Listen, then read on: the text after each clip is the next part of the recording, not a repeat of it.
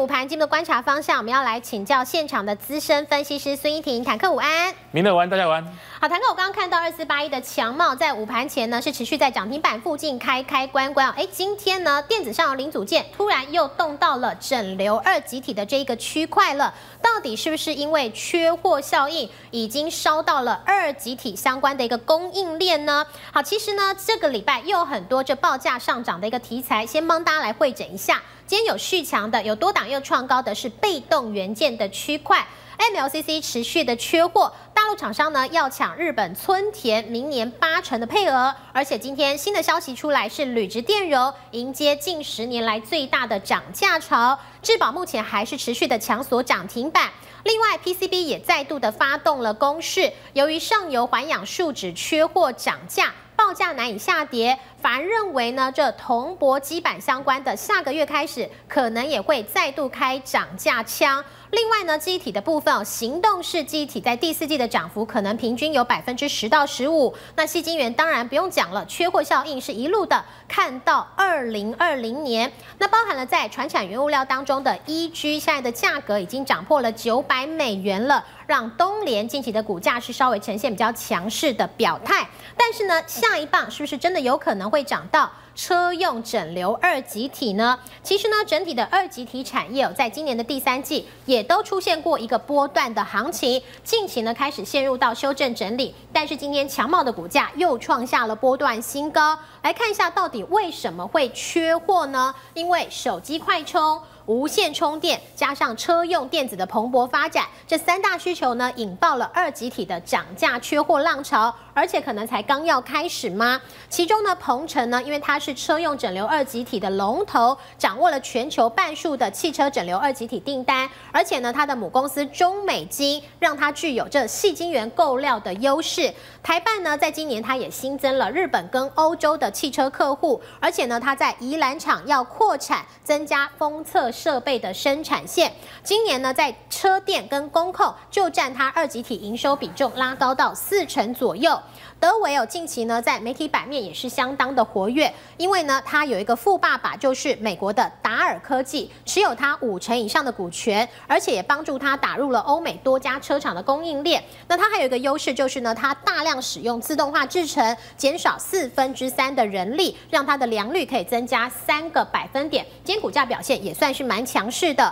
弘阳也是做二级体相关的，他在十一月初呢宣布买台湾波峰七成的股权，要强化它上下游的一个垂直整合，而且它也握有很多的大客户，包含了 Bosch，包含了克莱斯勒，还有中国大陆的 AM 供应链，它也打进去。那今天工涨停的强茂呢，其实它第三季它有调涨过报价了，明年车用营收占比可以拉高到百分之十五，而且它有非常多转投资的小金鸡可以贡献获。利跟营收，坦克怎么做观察呢？今天呢，在整体的电子上游材料跟零组件，一路的从 PCB 从被动元件，今天呢突然动到了二级体相关的。后续有多大的空间跟消息呢？对，我们看到其实这一波呢涨价风哦，算明乐一直帮大家做追踪哦。那这里其实从记忆体再到相关的像被动元件等等，其实涨价轮动其实都跟这个电子元件有关。为什么？因为其实这几年呢电子业比较不景气哦，所以整个扩厂呢反而呈现一个哎没有大量扩厂。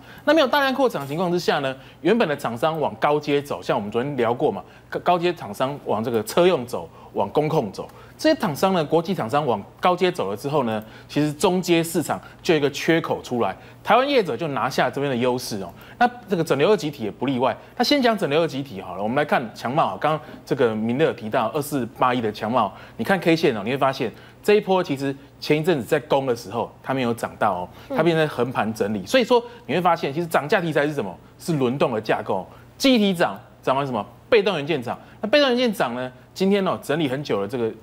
这个相关的这个族群哦，整流二极体就开始动，所以这个话是个轮动的节奏。那为什么整流二极体很重要呢？刚刚明乐已经提到，第一个是车电动车的需求，第二个是无线充电的需求，第三个是什么？快速充电的需求。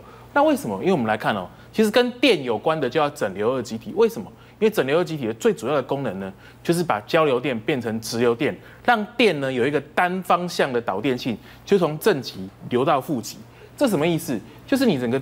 这个电子产品的本身的电路哦不会乱掉，在这个概念之下呢，其实所有的电你只要用到电的部分呢，就要整流二极体哦。这个概念大家有这个概念之后呢，我们就来看为什么会涨价，为什么会有这个涨价的需求。因为昨天我们聊到啊，被动元件啊，最近交期拉长，为什么甚至要你用标价的？为什么会这样呢？因为供给不够，市场抢着要嘛。那这一次其实我最近在看一份报告，就是大陆的这个供应链的报告，它针对这很写的很仔细，因为大陆人多嘛，写几几几十页的这种这个相关的电子元元元件的这种报告，他说哦，从去年第四季到今年的整个缺货潮哦是有延续的。那里面有提到被动元件啊，提到了整个细晶元等等，其中有提到一段很重要是在什么，在整流二极体上，我帮大家揭露出来了。那我们来看。这不管是这个肖特基二极管，因为大陆叫二极管，我们台湾叫二极管。对，然后像 TVS 呃二极管，嗯，然后是开关二极管，这些其实是什么？其实就是台办的商品，强茂的商品，国内相关业者的商品。我们来看这里哦，目前的交期要多久？十二到二十二个礼拜哦，是礼拜哦，是。然后十三到三十五个礼拜。但重点呢，这不是重点，重点是哪里？交期的趋势，就是说到底呢？哎，现在这个时间，因为这十一月中哦，十月底的报告，现在这个时间点跟之前比，交货的期间是拉长还是这个变短哦？这是一个趋势，因为越缺的话，交货期会越长。对，所以你看啊，延长、延长、延长、延长，然后呢，延长、延长、延长，哎，有一个稳定了。哦，这报报告表示报告不是全部都一昧的看多哦，那这边也是一样，开关二级体怎样？延长、延长、延长，所以我们发现。除了被动元件之外呢，在整流二极体这个区块呢，整个交货期也明显的一个拉长，所以其实这个缺货潮呢会持续下去。所以我们要观察什么？因为刚刚明乐提到一个重点，电动车。但电动车不是只有车辆本身哦，为什么要跟大家提？因为电动车其实加了很多相关的这个新的装置哦，是，就是汽车电子化。这个电子化才是真正比较厉害的。因为现在都要推自驾。对，自驾是一个关键。然后你有没有发现，在二十年前哦，我们小时候那个车子本身其实跟电有关的很少。那我最小最小的时候，那个电连那个窗户都要用摇的哦。对。但现在都不是，现在全部跟电子化有关。所以发现，根据统计哦，一台车子啊，成本电子产品占它成本的比重是在快速拉高哦。现在大概到四成，但到二零二零年的时候呢，有机会到五成的空间哦。所以代表什么意思？你不用新增需求，你不用多新电那个电动车的需求，你一台车哦，原本只有一部分是电子化，现在呢超过一半是电子化。光这样的一个机会呢，就会让整个这个整个集体的需求大量增加，因为全部都要用到电。所以这里的话呢，其实相关的业者，我们相关的股票，我们就可以观察哦。我们往下看，那今天的话呢，其实早上我跟明乐讨论的时候，本来要讲强茂，就一开盘就直接上去，飞出去，就是比较可惜一点哦。因为像我们看到，因为这几年有个趋势，第三季涨最强的是谁？其实是弘扬哦。那今天在整理，因为涨多，但是你发现它是从什么？要从太阳能的整流二极体拉到车用，然后台板也是一样。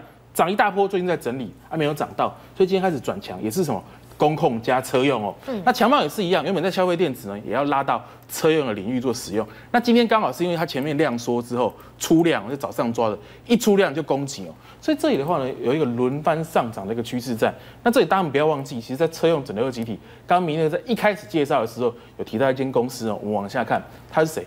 它是八二五五的鹏程哦。鹏程其实这几年呢是。它主要的这个业务哦，就是车用的整流集体，大概占它营收比重八十八趴哦。然后重点是在于哦，这个它是全球龙头，因为市占超过五成哦。那关键在这边呢，刚刚明乐已经提到了，鹏程跟中美金的董事长是同个人，都是卢明光先生哦。这什么意思呢？就至少你说价格上比较难，但是呢，在取得物料上。至少一定的优势在哦，所以你看发现，因为公司先前在法说的时候说哦，第三季是个淡季，但第四季会增温。那么增温有十月营收确实有跳上来哦，所以这里的话我们可以观察技术面更特别。我们往下看哦，技术面出现一个讯号，就是这里的话呢，第一个它先前有一根大量的一个红 K 哦，那这里今天虽然股最近股价台股在整理，但它的红 K 的低档都没有被跌破，还是守稳的格局哦。那重点是外资的持股呢，从十一月开始。持续的站在一个买方哦，就是大买小卖，所以这里的话呢，持股比重持续的增加哦，所以这两个环节配合呢，整个全球对于整个整流二极体的需求，因为车用啊、无线充电的增加哦，所以这部分呢有没有机会出现补涨？因为先前我们刚看到啊，强茂啊、台半都大涨之后，其实鹏城这里的转机器跟所谓的补涨力道都值得大家做进一步的观察。好，非常感谢坦克苏一婷，今天呢特别从强茂突然向上做拉高冲刺，带到了整体的车用整流二级体，现在呢也是缺货，也都要延长交期，可能就是被动元件之后下一棒的涨价概念股了。